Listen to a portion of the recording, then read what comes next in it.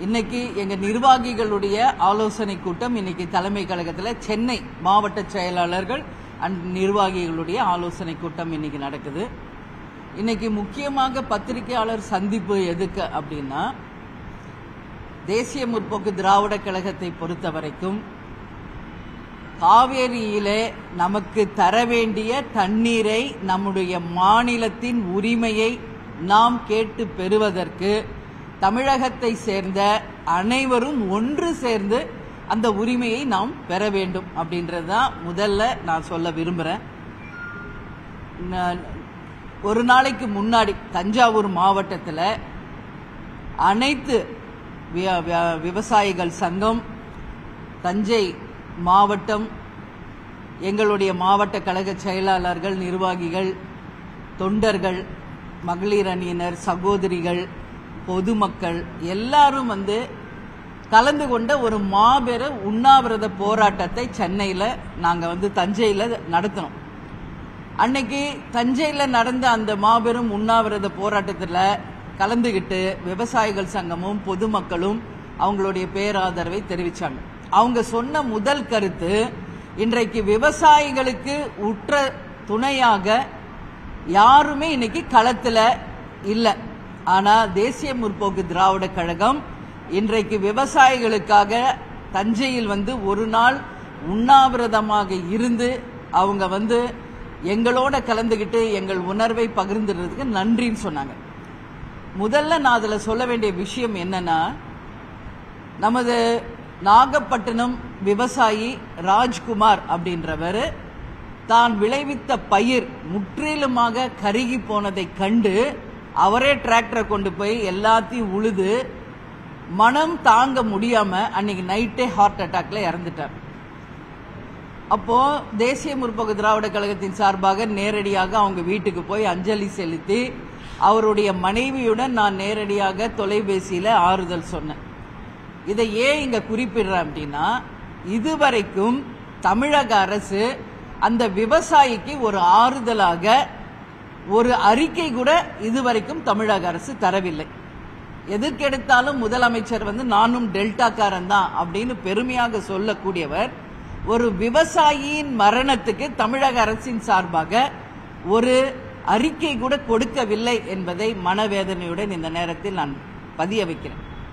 விவசாயிகள் வாழ்ந்தாதான் நாடு வாழ்ந்ததாக சரித்திரம் இருக்கும். இதில் எந்த மாற்று கருத்தும் இல்லை.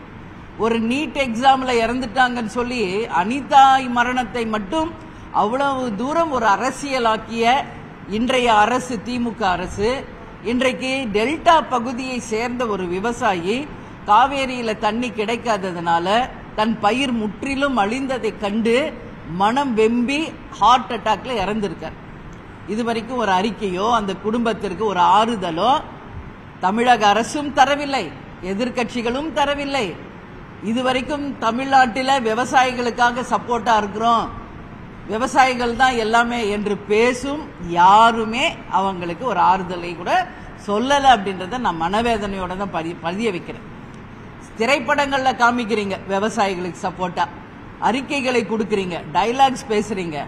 உண்மையில் விவசாயிகள் பாதிக்கப்பட்ட போது களத்தில் இறங்கி அந்த விவசாயிகளுக்கு ஆதரவு தெரிவிக்க வேண்டியது தமிழகத்தை சேர்ந்த ஒவ்வொருவருடைய கடமை. இன்னைக்கு பார்க்குறோம் கர்நாடகாவில் டோட்டலாக மாநிலம் முழுவதும் பந்த் அறிவிச்சிருக்காங்க. ஏற்கனவே மாண்டியால பந்த் அறிவிச்சாங்க. நாங்கள் உண்ணாவிரதம் அன்னி இருந்த அன்னைக்கு பெங்களூர் சிட்டியில் பந்த் அறிவிச்சாங்க. இன்னைக்கு கர்நாடகா ஸ்டேட் ஃபுல்லாமே வந்து பந்த் அறிவிச்சிருக்காங்க. இன்னைக்கு அங்கேயும் எத்தனையோ கட்சிகள் இருக்கு எத்தனையோ சங்கங்கள் இருக்கு எத்தனையோ அமைப்புகள் இருக்குது இருந்தாலும் எல்லாரும் ஒட்டுமொத்தமாக அவங்க மாநிலத்தின் உரிமைக்காக ஒன்று கூடி இன்னைக்கு குரல் கொடுக்கிறாங்க. ஏன் அந்த ஒற்றுமை தமிழ்நாட்டில் இல்லை அப்படின்றதான் என்னுடைய கேள்வி. இன்றைக்கு நடிகர் ராஜ்குமார் அவர்களுடைய தலைமையில நடிகர்கள் எல்லாம் உண்ணாவிரதம் உட்கார்ந்துருக்காங்க. நமது கேப்டன் அவர்கள் நடிகர் சங்க தலைவராக இருந்த பொழுது ஒட்டுமொத்த நடிகர் சங்கத்தையும் அழைத்து இதே போல கர்நாடகாவில் ஏற்கனவே தண்ணீர் விடாத போது ஒட்டுமொத்த நடிகர்களை அழைத்து கேப்டன் அவர்கள் உண்ணாவிரதம் இருந்திருக்கார். ஒரு வாட்டி இல்லை இரண்டு வாட்டி இல்லை எத்தனையோ வாட்டி. எல்லா நடிகர்களையும் அழைத்து சென்று நெய்வேலியில போய் நம்ம வந்து நீங்க தண்ணி கொடுக்கலன்னா நாங்க மின்சாரத்தை கொடுக்க மாட்டோம் என்று ஒரு மிகப்பெரிய ஒரு ஒற்றுமையோடு நம்மளது உணர்வை கேப்டன் பதிய வச்சிருக்கார். இன்னைக்கு வாட்டாள் நாகராஜ் அப்படின்றவர் தான் இன்னைக்கு தமிழ்நாட்டுக்கு தண்ணி விடக்கூடாதுன்றதுல அதிகமாக குரல் கொடுத்துட்டு இருக்கார் கேப்டன் தமிழ் செல்வன் அப்படின்ற ஒரு படத்துல நடிக்கும்போது கர்நாடகால தங்கி இருக்கும்போது அவர் தங்கி இருக்கிற கெஸ்ட் ஹவுஸை முற்றுகையிட்டு வாட்டாள் நாகராஜ் சில ரவுடிகளோட வந்து கேப்டன் தங்கி இருந்த அந்த கெஸ்ட் ஹவுஸை வந்து முற்றுகையிட்டு பயமுறுத்தணும்னு நினைச்சாராம். ஆனா கேப்டன் யாரு? வேட்டியை மடிச்சு கட்டி நேரா போய் கேட்டு கிட்ட போய் கம்பிக்கு ராடுகளோட போய் யார் அது? வாங்க. என்ன தைரியம் தான் என்னை எதிருங்கன்னு சொல்லவும் வந்த அத்தனை பேரும் அங்கிருந்து ஓடி போயிட்டாங்கன்ற நிகழ்வு அந்த படத்தினுடைய கூட ஒர்க் பண்ணவங்களை இன்னைக்கு சமூக வலைதளங்களில் பரப்புவதை நம்ம எல்லாம் பார்த்துக்கிட்டு இருக்கோம். அந்த போல கேப்டன் தமிழர் என்ற உணர்வோடு விவசாய மக்களுக்கு ஒட்டுமொத்தமாக நம் உணர்வை பிரதிபலிக்க வேண்டும் என்பதற்காக எத்தனையோ முறை உண்ணாவிரதம் ஆர்ப்பாட்டங்கள் இதே தஞ்சையில எத்தனையோ முறை விவசாயிகளுக்காக போராட்டம் நடத்தியிருக்கோம். ஏன் இன்னைக்கு தமிழ்நாட்டில் எத்தனையோ கட்சிகள் இருக்கீங்க எத்தனையோ சங்கங்கள் இருக்கீங்க நடிகர் சங்கம் இருக்கு எத்தனையோ சங்கங்கள் இருக்கீங்க. ஏன் நீங்கள் அனைவரும் ஒன்றாக சேர்ந்து நமது விவசாய பெருமக்களுக்காக ஏன் குரல் கொடுக்கவில்லை என்பதை இந்த நேரத்தில் தேமுதிக சார்பாக நாங்கள் கேட்கிறோம். நாம கட்டாயம் கொடுக்கணும். தமிழர்கள் என்ற உணர்வு இருக்கின்ற ஒவ்வொருவரும் நம் விவசாயிகளுக்காக இந்த நேரத்தில் பக்கபலமாக இருந்து அவர்களுக்காக குரல் கொடுக்கணும். இன்னைக்கு நீர்வளத்துறை அமைச்சர் துரைமுருகன் கிட்ட கேட்டா அவர் என்ன சொல்றாரு?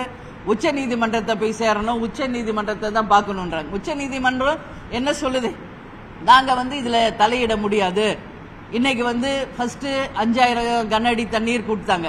அப்புறம் இன்னைக்கு அது நாலாயிரம் கன கனஅடி தண்ணீராக வினாடிக்கு குறைக்கப்பட்டிருக்கிறது. இப்படி நான் வந்து தஞ்சாவூர்ல அன்னைக்கு போய் பார்க்கிறோம். டெல்டா பகுதி விவசாயிகள் எல்லாரும் சொல்வது டெல்டால இன்னைக்கு கடைமடை வரைக்கும் அந்த தண்ணீர் போய் சேர்ந்தால்தான் விவசாயம் அங்க செய்ய முடியும் என்ற ஒரு நிலைமை இருக்கிறது. ஆனால் எங்கேயுமே தூர் வாரப்படல. விவசாயிகளுக்காக எந்த விதமான முன்னேற்பாடும் தரல. எந்த பகுதியிலும் இன்னும் வந்து காவேரியில தண்ணி வந்து கடைமடை வரைக்கும் போல. இன்னும் சொல்ல போனா குடிக்க கூட அங்க தண்ணீர் இல்லாத ஒரு நிலைமையை தான் பார்க்க முடிகிறது. ராஜராஜ வா- சோழன் வாழ்ந்த பூமி யானை கட்டி போரடித்த அந்த மண்ணில் இன்னைக்கு தண்ணி இல்லாம விவசாயிகள் சாகின்ற நிலைமையை விட இதை விட கொடுமை வேற என்ன இருக்காங்க? அப்போ இதுவரைக்கும் ஆட்சி செய்தவர்கள் என்ன பண்ணிக்கிட்டு இருக்காங்க? வெறும் தேர்தலுக்காகவும் ஓட்டுக்காகவும் தான் இங்க அரசியல் நடக்குதே ஒழிய உண்மையாக மக்களுக்காகவோ அடுத்த தலைமுறைக்காகவோ இங்க யாரும் செய்யல அரசியல் என்பதுதான் உண்மை. இது நிச்சயமாக மனவேதனையோட சொல்ற கண்டிக்கக்கூடிய ஒரு விஷயம். இன்னைக்கு நம்ம எல்லாம் சிட்டியில இருக்கோம். இன்னைக்கு நம்மளுக்கு வந்து தண்ணீர் கஷ்டம் இல்லாம சாப்பாடு கஷ்டம் இல்லாம நம்ம எல்லாம் இங்க இருக்கிறோம்னா அதுக்கு காரணம் யார்? டெல்டா பகுதி மக்கள். அன்னைக்கு அங்க ஒரு விவசாய சங்கத்தின் தலைவர் சொன்னது உங்ககிட்ட நான் பகிர்ந்து கொள்ளணும். இன்னைக்கு நம்ம காலையில ஒரு மூணு இட்லி நம்ம சாப்பிடுறோம் அப்படின்னா அதுல ரெண்டு இட்லி டெல்டா பகுதி பயிர் செய்த அந்த அரிசியிலிருந்து வந்த உணவு தான் நம்ம சாப்பிடுறோன்றத ஒவ்வொருத்தரும் மனசுல கொள்ள வேண்டும். அப்போ நாமெல்லாம் இங்க நிம்மதியா வாழறோம்னா அதுக்கு அந்த கடைகோடியில் இருக்கிற விவசாயிகள் தான் முக்கியம். அதனால அந்த விவசாயம் வந்து ஒரு கஷ்டத்துல இருந்தா நம்ம தான் போய் நிக்கணும் முதல்ல. எனவே எல்லா கட்சியினரையும் தமிழ் உணர்வு இருக்க அத்தனை பேரையும் அனைத்து சங்கங்களையும் தேமுதிக சார்பாக ஒற்றுமையாக ஒரே உணர்வோடு எப்படி கர்நாடகாவில் எந்த கட்சி பாகுபாடு இல்லாமல் மாநில உணர்வோடு எல்லாம் செயல்படுறாங்களோ அதே போல தமிழக விவசாயிகளுக்காக அனைவரும் ஒன்று கூடி முதலமைச்சர் அவர்களை கேட்டுக்கொள்கிறேன். எப்படி கேப்டன் அத்தனை கட்சியையும் அழைத்து கொண்டு டெல்லி போய் பிரதமரை பார்த்தாரோ அது போல அனைத்து கட்சியை சேர்ந்தவர்களையும் தலைவர்களை அழைத்து டெல்லிக்கு சென்று பிரதமர் அவர்களையும் சோனியா காந்தி அவர்களையும் சந்தித்து தமிழகத்திற்கு கிடைக்க வேண்டிய தண்ணீரை உறுதியாக பெற்று தர வேண்டும் என்பதை இந்த நேரத்தில் நான் கேட்டுக்கொள்கிறேன். ஏன்னா இன்னைக்கு கர்நாடகாவில் இருப்பது காங்கிரஸ் தான். அதனால சோனியா காந்தியை சந்தித்து இன்னைக்கு கூட்டணியில இன்னைக்கு ஸ்டாலின் அவர்களுடைய கூட்டணி தான் சோனியா காந்தி அவர்களும் கர்நாடகாவில் இருக்கிற காங்கிரஸும் அதனால அவர்களை சந்தித்து தமிழகத்திற்கு வேண்டிய உரிமையை கட்டாயம் பெற்று தர வேண்டும் என்று இந்த நேரத்தில் நான் கேட்டுக்கொள்கிறேன். ஏன்னா இது நிச்சயமா செய்யணும். எல்லாம் முடிஞ்ச பிறகு நீலி கண்ணீர் வடிக்கிறதுனால எந்த பிரயோஜனமும் கிடையாது. துரைமுருகன் அவர்கள் ரெண்டு நாளைக்கு முன்னாடி ஒரு டெல்லிக்கு போயிட்டு வந்து சொல்றார். எனக்கு உண்மையிலேயே மனசுக்கு வேதனை. என்ன சொல்றாரு? மூணாயிரம் அடி கன தண்ணீர் வந்து கொடுக்கறாங்க. சிக்கனமா அதை பயன்படுத்தி எப்படியாவது இந்த காலத்தை நம்ம கடந்துடணும் அப்படிங்கிறார். என்ன சிக்கனமா எப்படி பயன்படுத்த முடியும்? நீர்வளத்துறை அமைச்சருக்கு நான் இந்த பிரஸ் மீட் மூலமா கேட்கிறேன் நீங்க வேணா சிக்கனமா இருங்க. ஒரு மாத காலத்துக்கு தண்ணி குடிக்காம சிக்கனமாக இருந்த அந்த தண்ணீரை நீங்க வேணா சேமிச்சு மக்களுக்கு ஒரு எடுத்துக்காட்டா நீங்க இருங்க முதல்ல. எப்படி சிக்கனமா இருக்கணும் எப்படி சிக்கனமா இருக்க முடியும்? ஒரு ஏக்கர் நிலத்துக்கு இவ்வளவு தண்ணீர் பாய்ச்சணும்ன்றது ஒரு கணக்கு இருக்கு. அங்க தண்ணியே இல்ல. அப்ப எப்படி சிக்கனமா இருந்தா இந்த பிரச்சனையிலிருந்து நம்ம இதை வெளியே வந்துடலாம்னு எப்படி சொல்றாரு ஒரு நீர்வளத்துறை அமைச்சர்? எது கேட்டாலும் நான் சீனியர் மினிஸ்டர் இவங்களுக்கெல்லாம் வரலாறு தெரியாது அப்படின்னு வெறும் வாய்ஸ் அவலாடு தான் பேசுறாரு. இவ்வளோ வருஷம் நீங்க அறுபது வருஷமா ஒரு கட்சி இருக்கீங்க எப்பவுமே நீங்க தான் நீர்வளத்துறை அமைச்சர். என்ன நீங்க செஞ்சிருக்கீங்க? இன்னைக்கு வரைக்கும் என்ன பிரச்சனைக்கு தீர்வு கண்டிருக்கீங்க? துரைமுருகன் அவர்களே நான் கேட்குறேன் உங்களை. நீங்களும் நானும் ஒரே மாவட்டத்தை சேர்ந்தவங்க தான். என்ன நீங்கள் என்ன ஃபைனலா நீங்க என்ன ஒரு தன்னிறைவை கண்டிருக்கீங்க? விவசாய பெருமக்களுக்கு என்ன இதன் மூலம் தீர்வு நடந்திருக்கு இந்த அறுபது ஆண்டு காலத்துல? இப்போ எத்தனையோ லட்சம் ஹெக்டேர் பயிர் செய்யப்பட்ட அந்த டெல்டா பூமி ஏன் இன்னைக்கு வறண்டு போச்சு? அதற்கு காரணம் என்ன? இங்க ஆட்சி செய்த ஆட்சியாளர்களுடைய சரியான ஒரு தொலைநோக்கு பார்வையோட திட்டங்கள் இல்லை. தூர் வாடுறது கிடையாது. நமக்கு கிடைக்கிற மழையை சேமித்து வைக்க அணைகள் கிடையாது தடுப்பணைகள் கிடையாது தூர் வாருவதில்லை எல்லாம் கடல்ல போய் வீணாகுது. இன்னைக்கு கர்நாடகால இருக்கிறவங்க சொல்றாங்க ஏன் வருஷந்தோறும் எங்க கிட்டயே கேக்குறீங்க? உங்களுக்கு இருக்கிற மழையை சேமிச்சு வைக்கிற ஒரு பிளானோ ஒரு திறனோ உங்க அரசுக்கு இல்ல. எங்க கிட்ட எதுக்கு தண்ணீர் கேக்குறீங்கன்னு அவங்க கேக்குறாங்க. எங்களுக்கே தண்ணி இல்லை எப்படி நாங்க தர முடியும்? ஒரு சட்டு தண்ணி கூட நாங்க கொடுக்க மாட்டோங்கிறாங்க. அது ஒரு பக்கம் இருந்தா நேத்து நடிகர் சித்தார்த்தோடைய ஒரு படம் ப்ரமோஷனுக்காக ஒரு பிரஸ் மீட் வைக்கிறார். அங்க அமைப்பு அந்த கன்னட அமைப்பினர் போய் அதை தடுத்து அவரை வெளியேற்றுறாங்க. எந்த திரைப்படமும் கர்நாடகாவில் தி- திரையிட அனுமதிக்க மாட்டோம்னு சொல்றாங்க. அப்போ அவர்களுக்குள்ள அவ்வளோ பெரிய உணர்வு இருக்கும்போது நாங்கள் எல்லாம் தமிழர்கள் என்று சொல்லக்கூடிய நமக்கு அந்த உணர்வு இல்லையா என்ற கேள்வியை நான் கேட்கிறேன். என எல்லாரும் ஒற்றுமையாக இருந்து விவசாய மக்களுக்கான உரிமையை நிச்சயம் நாம் பெற்று தர வேண்டும். அதற்கு தமிழக அரசும் அனைத்து கட்சிகளும் அனைத்து சங்கங்களும் ஒன்று கூடி ஒரே உணர்வோடு நாம் செயல்பட வேண்டும். இந்த பிரச்சனைக்கு நிரந்தர தீர்வுக்கான நதிநீர் இணைப்பை பிரத- பிரதமரை சந்திக்கும் போது வலியுறுத்தி இதற்கான நிரந்தர தீர்வை ஏற்படுத்த வேண்டும் என்பதை இந்த நேரத்தில் நான் கேட்டுக்கொள்கிறேன் மேடம் தமிழகத்தில் ஒரு இனிஷியேட்டிவ் எடுத்தீங்களா எல்லாரும் சேர்ந்து போராடணும் எல்லாரும் சேர்ந்து பிரதமரை சந்திக்கணும் காங்கிரஸ் தலைவர் சோனியா காந்தி சந்திக்கணும் நீங்க சொல்லுங்க அந்த இனிஷியேட்டிவ் நீங்க எடுப்பீங்களா கட்சி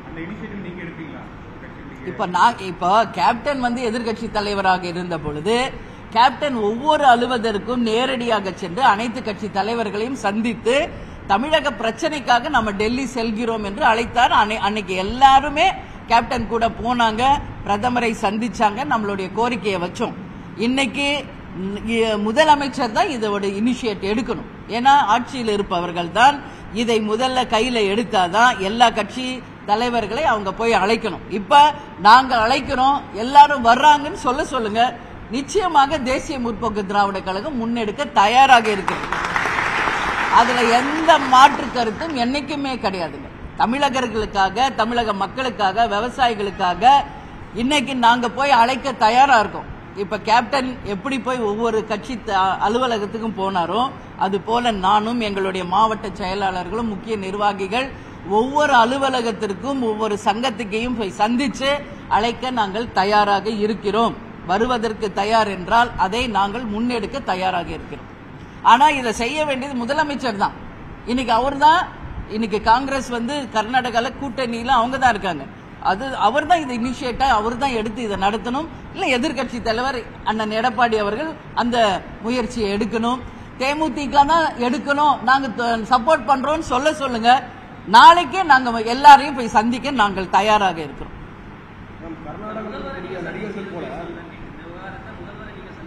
கண்டிப்பாக. அதுக்கான அறிவிப்பு வெகு விரைவில் உங்களுக்கு வரப்போகிறது. இன்னைக்கு இந்த பிரஸ் மீட் முடிக்கிறேன். முடிச்சுட்டு எங்க நிர்வாகிகளுடைய ஆலோசனை கூட்டம் முடிக்கிறோம். அதுக்கு அடுத்து என்ன எங்களுடைய அறிவிப்பு என்பதை நீங்க கொஞ்சம் வெயிட் பண்ணி பாருங்க. நிச்சயமாக அதற்கான முயற்சி நாங்க எடுக்கிறோம் மேடம் கர்நாடகாவில் இருக்கக்கூடிய நடிகர்கள் போல தமிழகத்தில் இருக்கக்கூடிய நடிகர்களுக்கு மாநில அப்படி கிடையாது. இப்போ சித்தார்த் வந்து தன் படத்தை ப்ரமோட் தான் பண்றாரு. அவரை போய் ஏன் நீங்க தடுக்கிறீங்க? உடனே அந்த பிரஸ் மீட்டுக்குள்ள கன்னட அமைப்பினர் உள்ள போய் அதை தடுத்து இன்னைக்கு அவர் எந்திரிச்சு வெளியவே போயிட்டார். இல்லைங்களா? அப்படி இருக்கிறப்போ ஏன் அந்த உணர்வு இங்க நமக்கு இல்லை? இன்னைக்கு ராஜ்குமார் அவருடைய தலைமையில நடிகர்கள் எல்லாம் உண்ணாவிரதம் இருக்காங்க. கேப்டன் நடிகர் சங்க தலைவராக இருந்த போது எத்தனையோ முறை இதை நடத்தி இருக்காரு ஏன் இப்ப அதை பத்தி யாருமே பேச மாட்டேங்கிறீங்க? உண்ணாவிரதம் உட்கார்றோம் போராடுறோம் அதெல்லாம் அடுத்து. ஏன் அதை பத்தி யாருமே தமிழ்நாட்டில் இது வரைக்கும் ஒருத்தர் கூட அதுக்கு குரல் கொடுக்கல எதிர்ப்பு தெரிவிக்கல. விவசாயிகளுக்கு தமிழக விவசாயிகளுக்கு நாங்கள் ஆதரவாக இருக்கிறோம் என்ற ஒரு ஆதரவு குரல் கூட இதுவரைக்கும் வரவில்லை என்று தான் நான் கேட்கிறேன். இது நிச்சயமாக கண்டிக்கக்கூடிய விஷயம். எல்லாரும் ஒன்று சேர்ந்து நமது விவசாயிகளுக்காக போராட வேண்டிய ஒரு நேரம் என்பதை சொல்றேன். நடிகர் ரஜினிகாந்த் கூட இந்த விவகாரம் தொடர்பாக இதுவரைக்கும் எந்த விதமான கருத்து தெரிவிக்கிறார் நடிகர் ரஜினிகாந்த் கர்நாடகாவுக்கு வரக்கூடாதுன்னு பல்வேறு கன்னடாக்களும் தெரிவித்திருக்காங்க அவர் ஏன் வாய் திறக்காம இருக்காருங்க இது அவர்கிட்ட தான் நீங்க கேட்கணும். ஏன் அவர் வாய் நீங்க திறக்கலன்னு அவர்கிட்ட தான் கேட்கணும். நான் வந்து ஜென்ரலா சொல்றேன். நான் வந்து நான் அதுதாங்க அவர் ஏன் வந்து திரு ரஜினிகாந்த் அவர்கள் ஏன் சொல்லல என்ற கேள்வியை அவரிடம் தான் நீங்க எழுப்பணும். நான் பேசுவது பொதுவாக சொல்றேன். அனைத்து கட்சியினர் அனைத்து சங்கத்தினர் எல்லாரும் ஒன்று சேர்ந்து தமிழர்களாகிய நமது உணர்வை விவசாய மக்களுக்காக நாம் செய்ய வேண்டிய நேரம் இது. நிச்சயம் அனைவரும் குரல் கொடுக்கணும். நமது விவசாயிகளுக்கு ஆதரவாக கைகோர்த்து நிற்க வேண்டிய தருணம் இதுன்னு தான் நான் சொல்றேன்.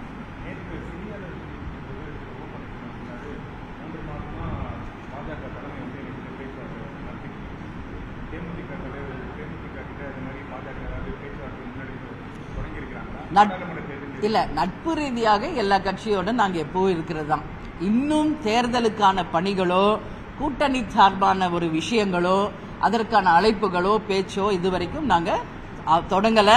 அதனால நான் அன்னைக்கே தஞ்சாவூர்ல கூட சொன்னேன். தேர்தலுக்கு இன்னும் ஆறு மாத காலம் இருக்கிறது. நிச்சயமாக உரிய நேரத்தில் ஒரு நல்ல ஒரு முடிவை கேப்டன் அவர்கள் அதிகாரப்பூர்வமாக அறிவிப்பார்.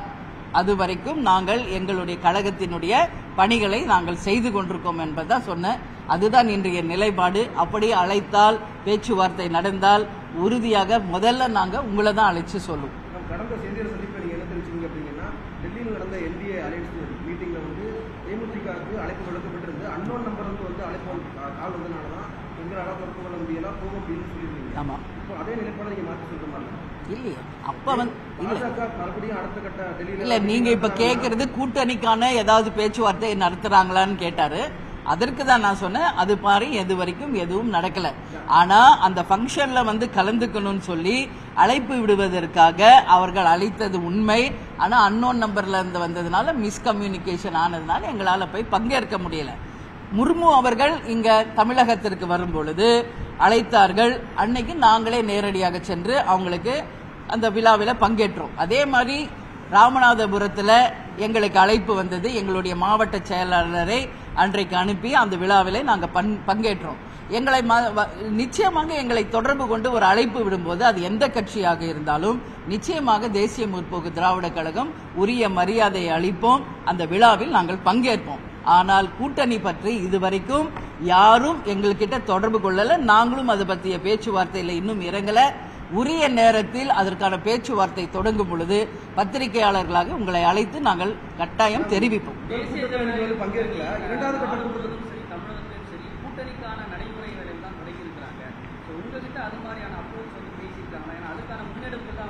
அதுதான் இந்த இந்த செகண்ட் நீங்க கேக்குறீங்க கேள்வி இந்த நிமிடம் வரைக்கும் கூட்டணிக்கான பேச்சுவார்த்தை நாங்க தொடங்கல. அவங்களும் யாரும் அந்த ரீதியாக எங்க கிட்ட இன்னும் யாரும் பேசல.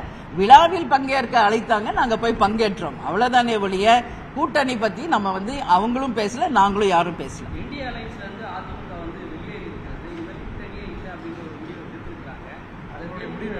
அது அவங்க கட்சியினுடைய ஒரு டிசிஷன் அவங்க கட்சி எடுத்த நிலைப்பாடு. அதை பத்தி நம்ம கமெண்ட் பண்றதுக்கு ஒண்ணும் கிடையாது. ஏன்னா கூட்டணியில இருந்தவங்களும் அவங்க தான் இன்னைக்கு அவங்களுக்கு கூட்டணியை விட்டு வெளியேறி இருக்கோம் என்று அறிவித்திருக்கவங்களும் அவங்க தான் அது அவங்க கட்சியினுடைய நிலைப்பாடு. அதை பற்றி தேமுதிக சொல்வதற்கு ஒண்ணுமே கிடையாது.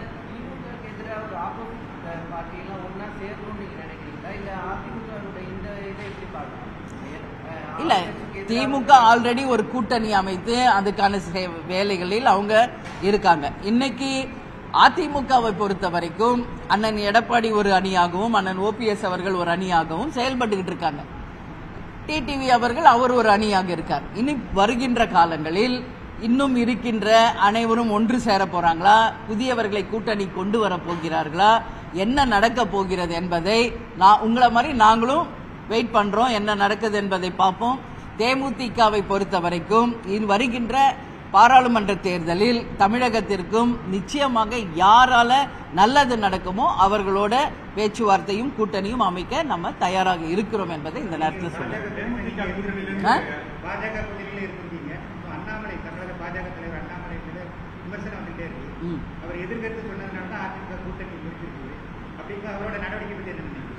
அவருடைய கருத்து அவருடைய கட்சி வளர்ச்சிக்காக அவர் தன்னுடைய கருத்துக்களை அவர் சொல்லிக்கிட்டு இருக்காரு. அதை வரவேற்கின்றவங்க வரவேற்கிறாங்க எதிர்க்கிறவங்க எதிர்க்கிறாங்க. அதுக்காக அண்ணாமலை சொல்லுகின்ற கருத்துக்கெல்லாம் எல்லாத்துக்கும் நான் பதில் சொல்லணும்னா அது சரியில்லை. அண்ணாமலை கருத்தை வரவேற்பவர்களும் இருக்காங்க எதிர்ப்பவர்களும் இருக்காங்க. அதனால ஒரு வார்த்தை நாம் வெளியே பேசுற வரைக்கும் தான் அந்த வார்த்தைக்கு நாம் முதலாளி. அந்த வார்த்தை நம்ம வாயை விட்டு வெளியே வந்துட்டா அந்த வார்த்தை தான் நமக்கான முதலாளி. எனவே நம்ம என்ன பேசுறோமோ அதனுடைய விளைவுகளை சந்திச்சு தான் ஆகணும். அதனால அது ரைட்டா தப்பா என்பதை நம்ம சொல்றதை விட யார் பேசுனாங்களோ அவங்க தான் அதற்கான பதில சொல்லணும்.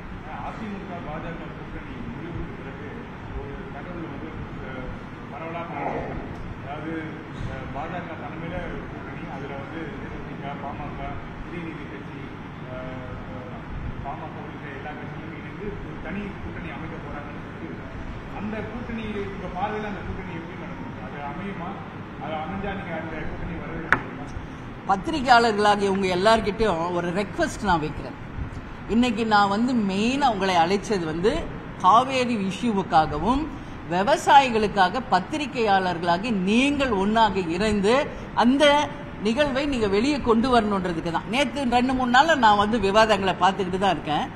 எல்லா சேனல்லையும் விவாதங்கள் வந்து வெறும் கூட்டணியை பற்றியும் அடுத்த தேர்தலை பற்றி மட்டும்தான் நீங்க எல்லாருமே வந்து அதை விவாதத்துக்கு கொண்டு வரீங்க அதை டெலிகாஸ்ட் பண்றீங்க. இன்னைக்கு ஒரு விவசாயி இறந்து இருக்காரு தமிழ்நாட்டில் இன்னைக்கு எத்தனை அவலங்கள் நடந்துகிட்டு இருக்கு? ஏன் அதை பத்தி எல்லாம் யாருமே வந்து கொண்டு வர மாட்டேங்கிறீங்க? இன்னைக்கு டிபிஐ வளாகத்துல தங்களுக்கு நிரந்தர வேலை இல்லைன்னு சொல்லி ஆசிரியர் பெருமக்கள் நான்காவது நாளா இன்னைக்கு உண்ணாவிரதம் இருக்காங்க. இன்னைக்கு பதினோரு பேர் காலையில மயக்கடிச்சு விழுந்திருக்காங்க. ஸோ அதையெல்லாம் வந்து ஏன் சேனல்ஸில் வந்து ஒரு விவாதமாக கொண்டு வர மாட்டேங்கிறேன்? இன்னைக்கு வாட்சாத்தி அந்த தீர்ப்பு இன்னைக்கு வந்திருக்கிறது. கடந்த எத்தனையோ ஆண்டு காலம் கழித்து நூத்தி பதினைந்து பேருக்கு வழங்கப்பட்ட அந்த தீர்ப்பு உறுதி செய்யப்பட்டு அவங்க எல்லாரையும் ஜெயிலில் அடைக்கிறதுக்கு இன்னைக்கு சொல்லியிருக்காங்க. அந்த பாதிக்கப்பட்ட குடும்பத்துக்கு பத்து லட்சம்னு சொல்லியிருக்காங்க. அரசு வேலைன்னு சொல்றாங்க. ஒரு நீ- நல்ல ஒரு தீர்ப்பை கொடுத்த நீதி அரசர்களுக்கு தேசிய முற்போக்கு திராவிட கழகத்தின் சார்பாக எங்களுடைய வாழ்த்துக்களையும் பாராட்டுகளையும் இந்த நேரத்தில் தெரிவிச்சுக்கிறோம். பத்திரிகை நண்பர்களே நீங்க வந்து வெறும் கூட்டணியையும் அடுத்த அரசியலுக்கானதை மட்டும் நீங்க எண்ணாமல் மக்களுக்கான செய்தியையும் நீங்கள் நிச்சயம் கொண்டு வரும் பொழுதுதான் அந்த பிரச்சனைகளுக்கு அரசு நிச்சயம் அனைத்து கட்சியும் செவிசாய்க்கும். அதே போல நேத்து நேத்து மிகப்பெரிய ஒரு விஞ்ஞானி சுவாமிநாதன் அவர்கள் வேளாண் விஞ்ஞானி இறந்திருக்கார். அவருக்கு தேமுதிக சார்பாக எங்க அஞ்சலியை செலுத்துறோம்.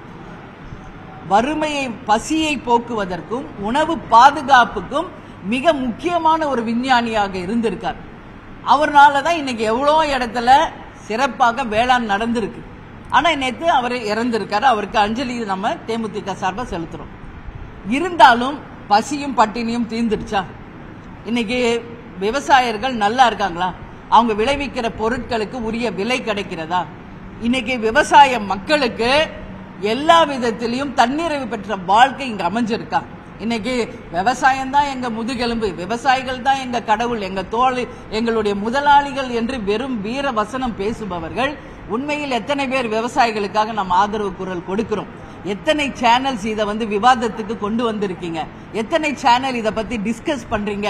அப்படின்ற கேள்வியை இந்த நேரத்தில் நான் கேட்கிறேன். ஒரு விவசாயி இறந்துருக்காரு. இன்னைக்கு கடைமடை வரைக்கும் தண்ணி இல்ல. விவசாயம் காஞ்சு போயிருக்கு. ஏன் அதை பத்தி எந்த சேனலும் விவாதத்துக்கு கொண்டு வர மாட்டேங்கிறீங்க? ஏன் எந்த சேனலும் அதை பத்தி டிஸ்கஸ் பண்ண மாட்டேங்கிறீங்க? ஏன் இன்னைக்கு விவசாயிகளுக்கு உறுதுணையாக எந்த சேனலும் குரல் கொடுக்க மாட்டேங்கிறீங்க? இன்னைக்கு நம்ம வந்து சாப்பாட்டுல கை வைக்கணும்னா அவங்க சேத்துல இறங்கினாதான் நம்ம சோறே சாப்பிட முடியும். அப்படி இருக்கும்போது ஏன் அத்தனை சேனல்களும் அவங்களுக்கு ஆதரவாக குரல் கொடுக்கல? இன்னைக்கு ஒட்டுமொத்த கர்நாடகாவும் ஒன்னு திரண்டு அந்த மக்கள் அவங்க விவசாயிகளுக்காக இன்னைக்கு அவங்க ஆதரவை தெரிவிக்கும் போது நாம் ஏன் அனைவரும் ஒன்று சேர்ந்து நம்ம மக்களுக்காக குரல் ஆதரவு குரல் கொடுக்க மாட்டேங்கிறோம்? நீங்களும் அதை இன்றைக்கு விவாதமாக கொண்டு வாங்க. நம்மளுடைய ஒற்றுமையை அடுத்த ஸ்டேட்ஸ்க்கு நீங்களும் ப்ரூவ் பண்ணுங்க. இன்னைக்கு என்ன சேனலும் நம்மளுடைய விவசாயிகளை பற்றியும் இன்னைக்கு விவசாயத்தில் பாதிக்கப்பட்ட நம்ம விவசாயிகளுடைய நிலைமையையும் நீங்கள் நிச்சயமாக விவாத பொருளாக நேஷனல் லெவல் வரைக்கும் இதை எடுத்துட்டு போனா உறுதியாக இன்னைக்கு சென்ட்ரல்ல இருக்கிறவங்க கூட உறுதியாக காவேரியில தமிழகத்திற்கு வேண்டிய உரிமையை நாம பெற்று தரணும்னு எண்ணுவாங்க. அதை பத்தி யாருமே பேச மாட்டேங்கிறீங்களே. எப்ப பார்த்தாலும் கூட்டணியை பத்தி பேசுறீங்க? யார் யார் கூட கூட்டணி? ஒன்னு சினிமாக்காரங்களை பத்தி பேசுறீங்க? உங்க ஆதரவு யாருக்கு? உங்க கருத்து என்ன? எப்ப பாரு இதே தானே. அடுத்த தேர்தலை பற்றியே தான் நம்மளுடைய சிந்தனையா? அடுத்த எதிர்காலத்தை பத்தி நம்ம யாருமே சிந்திக்க தேவையே இல்லையா? இன்னைக்கு தமிழ்நாடு முழுக்க எவ்வளவு கனிம கொள்ளை நடந்துகிட்டு இருக்கு உங்க எல்லா பத்திரிகைக்காரர்களுக்கும் தெரியும். ஏன் அதை பத்தி விவாதம் வைக்க மாட்டேங்கிறீங்க? டாஸ்மாக்னால இன்னைக்கு தமிழ்நாடே சீரழிஞ்சு போயிருக்கு. போதையில்லா தமிழகம்னு சொல்றாங்க. ஆனா இன்னைக்கு ஒட்டுமொத்த இளைஞர்கள் போதைக்கு அடிமையாகி தமிழ்நாடே எதிர்காலத்துக்கு ஒரு கேள்விக்குறியா நிக்குது. ஏன் அதை பத்தி விவாதம் வைக்க மாட்டேங்கிறீங்க? இன்னைக்கு லஞ்சம் ஊழல் தரை விரிச்சு ஆடிக்கிட்டு இருக்கு. எங்க பார்த்தாலும் இடி ரைடு போறாங்க. எதுக்காக போறாங்க? தப்பு செய்தவர்களுக்கு ரைடு போறாங்க. ஏன் அதை வந்து விவாதத்துக்கு கொண்டு வர மாட்டேங்கிறீங்க? பத்திரிகையாளர்களே நீங்கள் மூன்றாவது மிகப்பெரிய தூண் என்று சொல்றது பத்தாது. நீங்களும் மக்களுக்காக நிச்சயமாக எல்லா சேனலும் குரல் கொடுத்தாதான் அந்த பிரச்சனைக்கு தீர்வு வரும். வெறும் அரசியல் கூட்டணி யார் யாரோட கூட்டணி அடுத்த தேர்தல் இன்னும் டைம் இருக்கு. இன்னைக்கு முக்கியமா நம்ம டிஸ்கஸ் பண்ண வேண்டியது நம்ம விவசாய மக்களுக்காக கர்நாடகாவில் எப்படி ஒற்றுமையோடு அவங்க உணர்வை பதிய வச்சார்களோ அது போல தமிழகமும் நமது ஒற்றுமையை உணர்வை நிச்சயம் நாம சேனல்ஸ் மூலம் பதிய வைத்து நமக்கு வேண்டிய உரிமையை பெற்று தரணும் சொல்லி அத்தனை பத்திரிகையாளர்களையும் நான் கேட்டுக்கொள்கிறேன் மேடம் மெரினா நடந்த வந்து பிஆர் பாண்டியன் அமைதியான முறையில் தேசிய கொடியை கருணாநிதி இங்கே காவல்துறை வன்முறையாக வந்து சொல்றேன். இன்னைக்கு விவசாயிகளுக்கு மரியாதையே இல்லையே.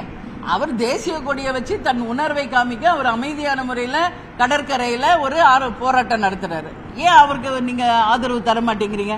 டெல்லி வரைக்கும் போய் வரைக்கும் போய் நமது விவசாயிகள் எவ்வளவோ போராடினாங்க. பிரதமர் ஒரு நாள் கூட அவங்களுக்கு டைம் ஒதுக்கி விவசாயிகளை சந்திக்கலையே. அப்ப விவசாயிகளுக்கு இதுதான் மரியாதையா? இன்னைக்கு ஒட்டுமொத்த விவசாயிகளும் இன்னைக்கு அவங்க விளைநிலத்துல நாங்க விளையல் பண்ண மாட்டோம். யாருக்கும் வந்து எதுவும் சப்ளை பண்ண மாட்டோம் அப்படி நிறுத்தினா நம்ம எல்லாம் வாழ முடியுமா? அதனால விவசாயிகளுக்கு ஆதரவாக இருங்கள். இந்த நேரம் அதுவும் வருஷம் பூரா கிடையாது. இந்த நேரம் மெயினா விவசாயிகளுக்கு நாம் ஆதரவாக இருந்து காவேரியில தண்ணீரை பெற்று தர வேண்டியது தமிழர்களாக நம் ஒவ்வொருவருடைய கடமை என்பதை இந்த நேரத்தில் சொல்றோம் கேங்மேன் இன்னும் வேலை வாய்ப்பு கிடைக்காத பல போராட்டங்களும் நடந்துருக்காங்க இல்ல எங்கேயுமே நிறைய இடத்துல போராட்டங்கள் நடந்துகிட்டு இருக்கு. கேங்மேனும் நடக்குதுங்க. இன்னைக்கு பாருங்க டிபிஐல டீச்சர்ஸ் ரெண்டு நாளைக்கு முன்னாடி செவிலியர்கள் போராட்டம். கோயம்புத்தூர்ல பார்த்தோம்னா நெசவு தொழிலாளர்கள் விவசாயிகள் ஒரு பக்கம் போராட்டம் என்று எல்லா பக்கம் போராட்டங்கள் நடந்துகிட்டு தான் இருக்கு. என்ன தீர்வு? தீர்வே இல்லையே. எந்த கேள்வி நம்ம கேட்டாலும் கேள்விக்குறி தான் நிக்குதே ஒழிய எந்த தீர்வுமே இல்லையே. என்ன நடக்குது இங்க? இப்போ யார் யார் கூட கூட்டணி? இதுதான் நமக்கு முக்கியமா இருக்கு. எதுக்கு கூட்டணின்னு நான் கேட்கிறேன் இன்னைக்கு ரெண்டு சென்ட்ரல்ல ரெண்டு கட்சி பெருசு. ஒன்னு காங்கிரஸ் ஒன்னு பிஜேபி ரெண்டு பேருமே ஆட்சியில இருந்திருக்காங்க. தமிழ்நாட்டுக்கு இதுவரைக்கும் நீண்ட நெடிய நாட்களாக இருக்கின்ற தொடர் பிரச்சனைக்கு எதுக்கு தீர்வு கண்டிருக்காங்க? கச்சத்தீவுக்கு தீர்வு கண்டிருக்காங்களா? காவேரிக்கு தீர்வு கண்டிருக்காங்களா? அதே போல நம்ம எடுத்துக்கிட்டா கனிம வள கொள்ளை நடக்குதே அதற்கு ஏதாவது தீர்வு கண்டிருக்காங்களா? லஞ்ச ஊழலை ஒழிக்க ஏதாவது தீர்வு கண்டிருக்காங்களா? மீனவர்கள் டெய்லி செத்துக்கிட்டு இருக்காங்க கடல்ல அதுக்கு ஏதாவது தீர்வு கண்டிருக்காங்களா? அப்ப எதுக்காக நம்ம நேஷனல் பார்ட்டிஸோட கூட்டணி வைக்கணும்னு நான் கேட்கிறேன் இது வரைக்கும் வெறும் நம்பர்ஸ் தான் வந்து எலெக்ஷன் பேசுது. வெறும் நம்பர்ஸ் எத்தனை எம்பி எத்தனை எம்எல்ஏ யார் யாரோட கூட்டணி இதுதான் முக்கியமா? எதுக்காக போறோம்? நம்ம தமிழ்நாட்டுக்கு அதனால ஏதாவது பெனிஃபிட் நடக்குமா? தமிழ்நாட்டுக்கு அதனால ஏதாவது ஆதாயம் இருக்கா? அப்படின்றதுதான். எதுவுமே நடக்கலையா இது வரைக்கும். டூ ஜி வழக்கு ஊழல் காமன்வெல்த் இந்த மாதிரி ஊழல் வழக்குகள் தான் இருக்கே ஒழிய இதுவரைக்கும் தமிழ்நாட்டில் பல ஆண்டு காலமாக இருக்கின்ற ஏதாவது ஒரு பிரச்சனைக்கு தீர்வு வந்திருக்கா? என்றால் அதுக்கு யாரும் பதிலே சொல்ல மாட்டேங்கிறாங்க.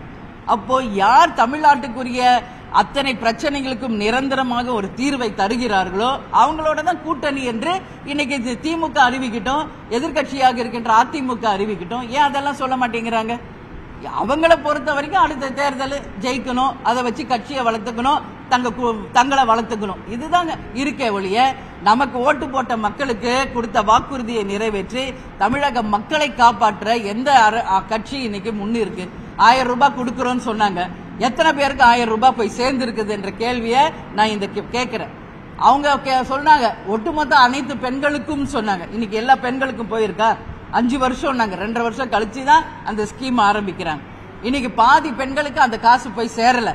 இன்னைக்கு தகுதி இருக்கிற பெண்களுக்கு தான் சொல்றாங்க அரசாங்கம். இதனால பல குடும்பங்களில் இன்னைக்கு பிரச்சனைகள் நடந்துகிட்டு இருக்கு. இது உண்மை.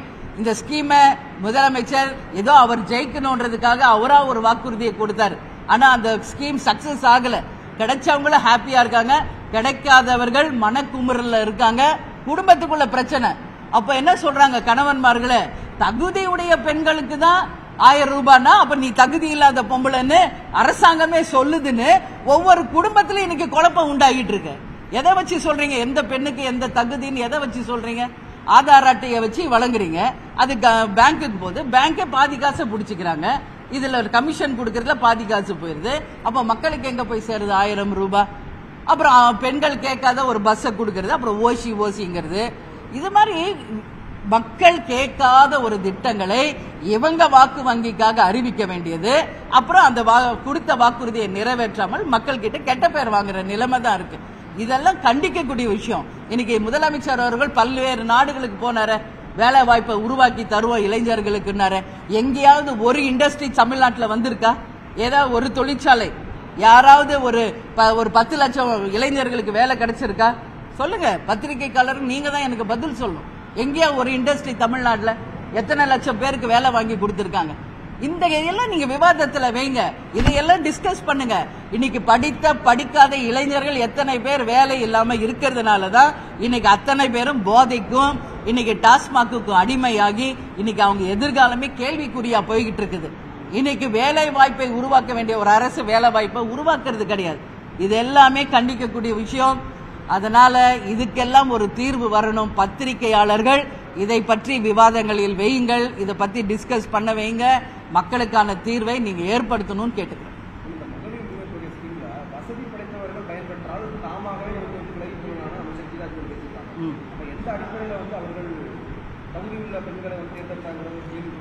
அதுதான் அவங்க சொல்ற அந்த இதுவே முதல்ல யாருக்கும் புரியல. தகுதியுடைய பெண்கள் தகுதியுடைய பெண்கள்ல என்ன தகுதி முதல்ல அவங்க எதிர்பார்க்கறாங்கன்றத தெளிவாக அரசாங்கம் சொல்லணும். தகுதியுடைய பெண் வீடு இருக்கக்கூடாது? டேக்ஸ் கட்டி டாக்ஸ் கட்டக்கூடாது என்று சில சொல்றாங்க. அப்போ நீங்க தேர்தல் வாக்குறுதி கொடுப்பதற்கு முன்பு இதெல்லாம் சொன்னீங்களா? அனைவருக்கும் ஆயிரம் ரூபாய் தானே சொல்லிட்டு தானே ஓட்டு கேட்டீங்க? ஓட்டு வாங்குறதுக்கு ஒரு வாக்குறுதி வாங்கி ஜெயிச்ச பிறகு ஒரு நிலை. இதுதான் வந்து திராவிட மாடலா? பெண்கள் கேட்கறாங்க தேர்தலுக்கு முன் ஒரு நிலைப்பாடு தேர்தலுக்கு பின் ஒரு நிலைப்பாடு. இதுதான் திராவிட மாடல் அப்படின்னு சொல்றாங்க. மக்களுக்கானது என்னவோ அதை பேசுறதை விட்டுட்டு சனாதானத்தை பத்தி பேசுறது தேவையில்லாததையெல்லாம் பேசி சர்ச்சையாக்கி பிரிவினையை உண்டாக்கி மக்களுக்குள்ள ஒரு குழப்பத்தை தான் இந்த இவங்க ஏற்படுத்துறாங்க. நீட் எக்ஸாம் ஒழிக்கவே முடியாதுன்னு தெரிஞ்சும் நீட்டை எடுத்து ஒரு அரசியல் பண்றாங்க. சனாதானத்தை பேசி அதனால ஒன்றும் நடக்க போறதில்ல. உங்க குடும்பத்திலே பல பேர் கோயிலுக்கு போயிட்டு இருக்காங்க யாகங்களை நடத்திக்கிட்டு இருக்காங்க பூஜைகளை பண்ணி அப்ப எதுக்கு பேசுறீங்க? அதுவும் குழப்பம். உண்டாக்கி அனைவரையும் பிரித்தாளும் சூழ்ச்சி. இதனால் யாருக்கு என்ன லாபம்? இதனால ஒரு பத்து லட்சம் பேருக்கு வேலை கிடைக்குது. பத்து லட்சம் குடும்பம் இதனால வாழ்ந்துச்சு. எல்லாருக்கும் தண்ணீரவை பெற்ற விவசாயிகளா வாழ்ந்தாங்கன்னு உதாரணம் காமிக்க சொல்லுங்க. அதை நம்ம வரவேற்கலாம். எதுக்குமே ஒரு உப்பு சப்பு இல்லாத விஷயத்துக்கெல்லாம் அரசியலாக்குறதை விட்டுட்டு உறுதியாக மக்களுக்காக கொடுத்த வாக்குறுதிகளை நிறைவேற்றி உங்களை முதல்வராக இந்த ஆட்சியை தேர்ந்தெடுத்த மக்களுக்கு இந்த ஆட்சி நல்லது செய்யணும்னு நான் கேட்டுக்கிறேன்.